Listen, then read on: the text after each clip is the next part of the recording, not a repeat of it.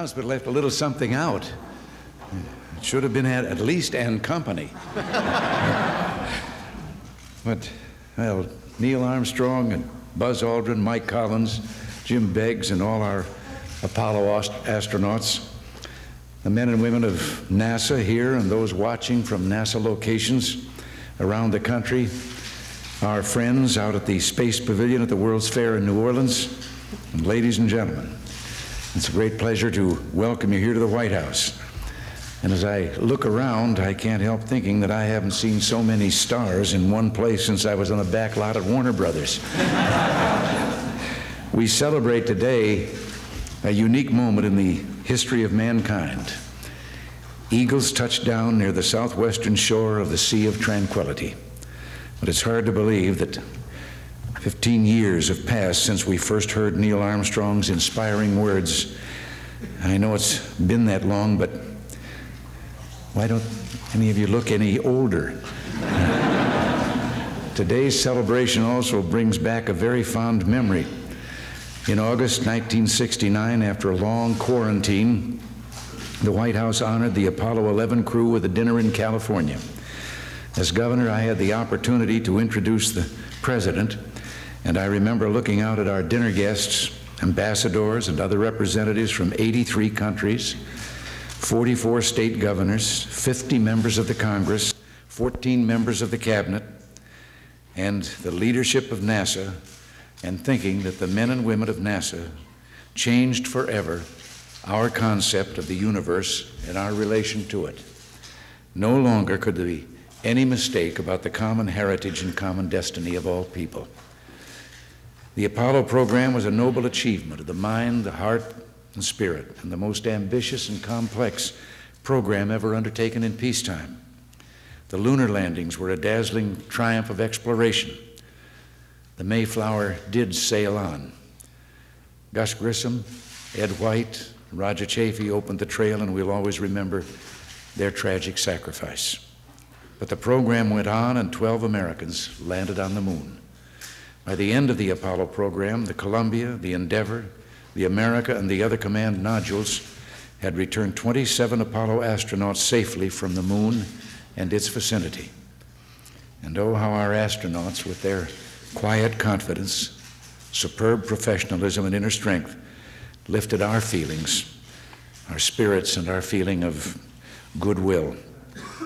Apollo enriched our intellectual and economic life and awakened us to mankind's boundless horizon. We carried a new sense of pride and became more confident that we've only seen the beginning of what a free and a courageous people can do. And of course, the Apollo program was a supreme test of technology, always at and often beyond the cutting edge. Never before had the requirements of reliability, accuracy, and efficiency been as demanding. Never before had the quality assurance testing for each of the thousands and thousands of components been as relentless. And our developers and inventors responded with unprecedented creativity. Our finest minds in government, industry, and universities all pulled together, and one sparkling technical innovation followed another. Which one of you, or was it someone else, that, however, that sat there at takeoff and said that your mind was on the fact that this had been built by the lowest bidder. but all the while, our space research and engineering served the down to earth needs of our own people and people everywhere. The Apollo project spawned communications, weather, navigation, and Earth resource satellites, and many new industries like solid state electronics, medical electronics, and computer sciences. It opened the door to exciting scientific and commercial opportunities. Opportunities like the programmable heart pacemaker, which uses technology first developed to send coded instructions to orbiting satellites. Cordless home appliances and surgical instruments grew out of requirements for Apollo's lunar experiments. Even the fabric roof of Pontiac, Michigan's Silver Dome, the home of the Detroit Lions, was made from the product developed for NASA's spacesuit. The era of Apollo helped us build a technological base that was second to none. But we've only touched the edge of possibilities in space. The Apollo experience was only a beginning for America. From Apollo came the shuttle, the world's first true space transportation system, and another victory for the American spirit. The space shuttle opened a new era to pursue the many scientific, educational, industrial, and commercial opportunities of space. And as long as we challenge our imagination and aim high, there's no end to the potential of space. There's never a time when we can stop moving forward, when we can stop dreaming. And so, this past January, in my State of the Union address, I challenged our nation to develop a permanently manned space station and to do so within a decade. And I'm very pleased that the Congress has authorized funds enabling NASA to take the first steps in the design of America's space station. The footprints on the moon showed us that America's future can be determined by our dreams and our visions. The shuttle and our space station will help make those dreams come true. Our freedom and well being are tied to new achievements and pushing back new frontiers. We'll push back those frontiers and open new doors to discovery, opportunity, and progress. I also said in that State of the Union address that we would soon develop initiatives to help promote private sector investment in space, and we're now embarking on that course. We'll do all we can to ensure an industry that industry has a routine access to space and a suitable, reliable place to work there. And we'll do this without needless regulatory constraints. 11 successful shuttle flights mean that we're on the verge of a space transportation system that can dependably support space industries. And the benefits our people can receive from the commercial use of space literally dazzle the imagination. Together, we can produce rare medicines with the potential of saving thousands of lives and hundreds of millions of dollars we can manufacture super chips that improve our competitive position in the world computer market. We can build space observatories, enabling scientists to see out to the edge of the universe. And we can produce special alloys and biological materials that benefit greatly from a zero gravity environment. By accepting the challenge of space, we'll carry forward the same courage and indomitable spirit that made us a great nation and that carried our Apollo astronauts to the moon. As you know, Dr. George Low, the guiding light behind the Apollo program, passed away earlier this week.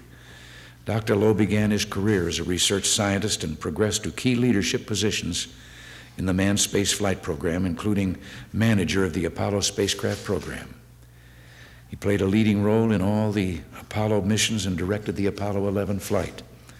Dr. Low also served as deputy administrator and acting administrator of NASA and was instrumental in the planning of the shuttle program. For the past eight years, he continued his lifelong efforts to build a better tomorrow while serving as president of Rensselaer Polytechnic Institute. We're grateful for what George Low has done and the ideals he stood for, and we'll miss him very much. I know you join Nancy and me in extending heartfelt condolences to the Low family. But I'm sure George Low would be pleased that we're honoring our achievements and the promise of space with a proclamation designating today as Space Exploration Day. Let us use this occasion as a commitment to our future, to the best of America. And let it be a reminder of America's spirit of exploration our desire to cross new horizons and to learn more about ourselves and the world around us. And now I will sign the proclamation. I thank you and God bless you all. And I can't help but think all the things I've been saying here about the progress that's been made. I, a one time second lieutenant of horse cavalry, will now spy, sign the space proclamation.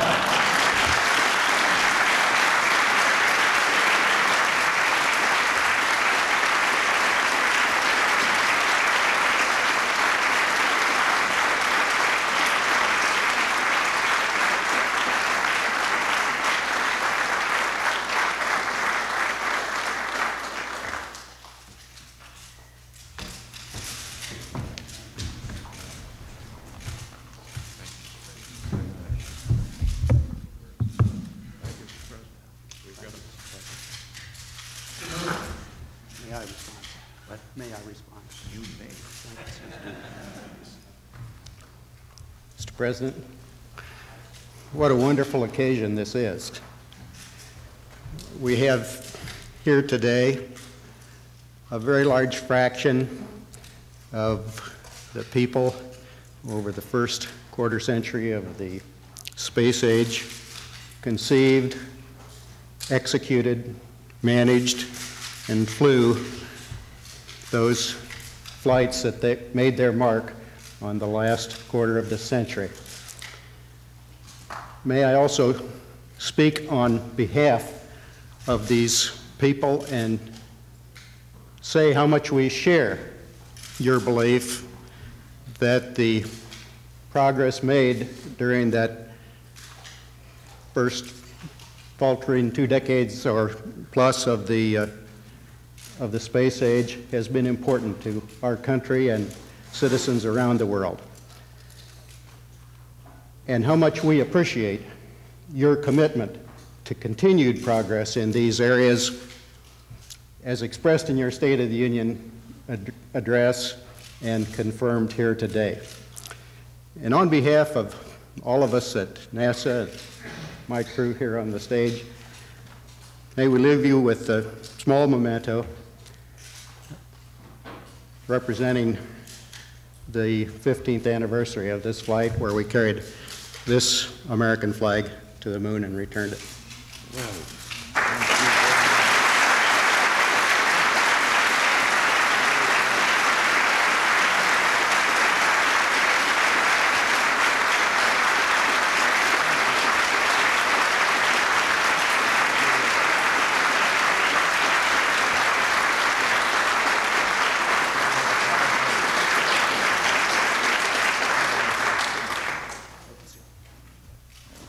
Thank you all again. I, you're still beyond all of you. My capacity to imagine.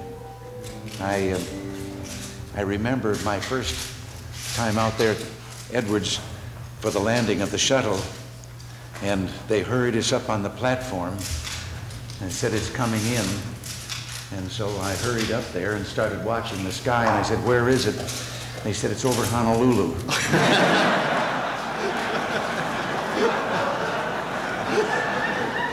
we were just in time.